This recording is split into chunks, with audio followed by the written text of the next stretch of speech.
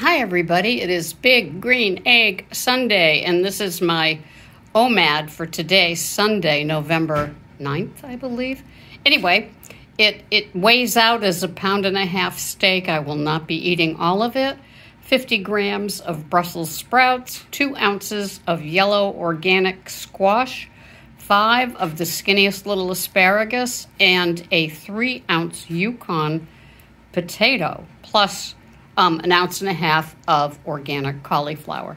And this is my big green egg Sunday OMAD for the day. Thanks for watching. Bye bye for now.